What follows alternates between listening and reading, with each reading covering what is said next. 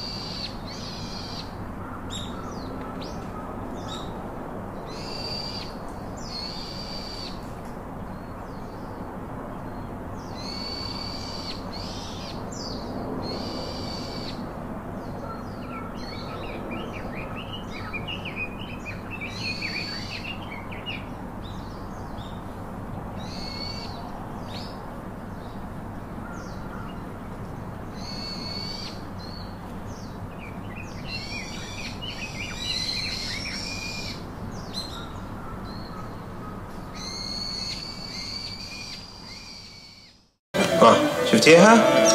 هذه لولو.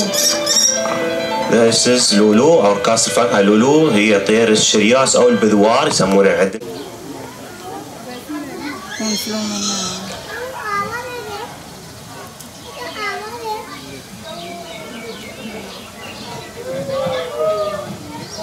يا فرحان صفقوا تستاهل ما زلنا هذه العائلة الجميلة ولكن هناك اللي مسويكم هناك هناك شاطرة.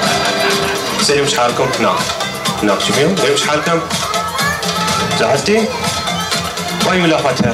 هناك شو صار؟ ترى باي بالمسيج سي باي. قول لهم باي. هناك وين ذا ساوند سي باي. قول لهم باي. شاطره مثل الأرسقو شوف كيف تأكل لا صفقوا لا صفقوا يلا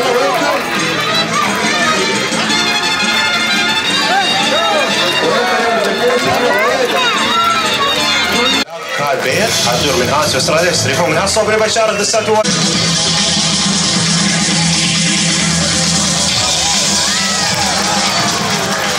هذه هي طيور الهارسوك متواجدة عندنا منها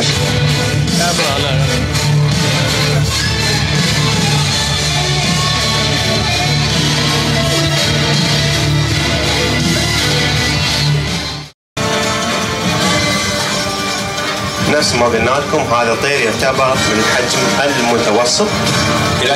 this bird was considered 6 or 7 كيلو. جرام الحين بعد شوي بتشوفون ويانا كيف هذا الطير يحاول نومك We'll see how this bird tries to fly في الحجم ولكن جميل في الشكل. ترى ال bird ما ترى لي beautiful one يلا قول bye say bye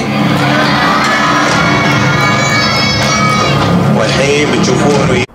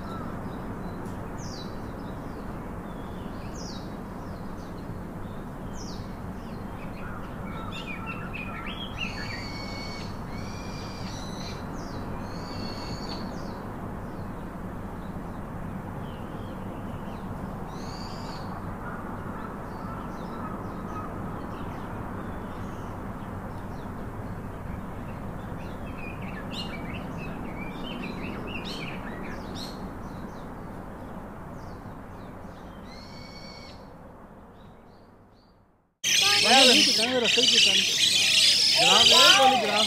ਹਾਂ? ਆ ਵੇਖੇ। ਅੱਛਾ ਉਹ ਲੈ ਉਹ ਅੱਗੇ ਕਾਫੀ ਦੂਰ ਆ। ਆ ਇੱਥੇ ਪਿੱਛੇ।